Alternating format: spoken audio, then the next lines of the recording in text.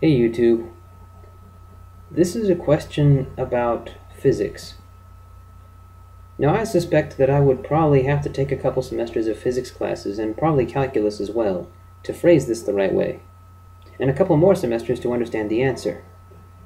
But on the off chance that this is not true, I'm going to try. Let me apologize in advance for my crude choice of words. Motion is relative. We normally think of the moon revolving around the Earth because the moon does a lot more moving. This is a practical choice of words, but technically speaking, the Earth and the moon really revolve around one another. It's just that in this revolution, the Earth has a lot more mass and is, and is therefore more resistant to changes in its momentum.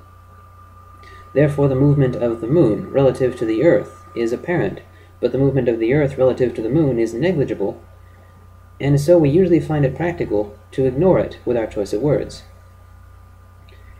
If the Earth and the Moon were closer in mass, the movement of the Earth would be much more apparent, and we would change our choice of words as a matter of practical necessity, if indeed we existed at all, but that's a different discussion. Movement is relative.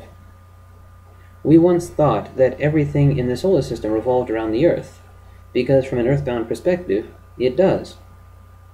If, on the other hand, we regard this from a sunbound perspective, or from the perspective of a hypothetical satellite, watching the Earth and the Sun from a position several AUs above or below the ecliptic, then it becomes more accurate to talk about the Earth revolving around the Sun. When we talk about object A moving, we only mean changing position relative to object B. And if A and B have about the same properties, then it is no less accurate to talk about it as object B changing position relative to object A. But then as an object approaches the speed of light, it undergoes a time dilation. For that object, time slows. But the speed of light relative to what?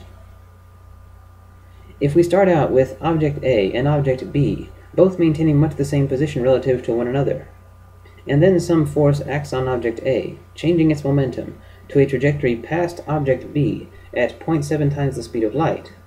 Then at the moment it passes, object A is moving at 0.7 times the speed of light relative to object B, but object B is also moving at 0.7 times the speed of light relative to object A.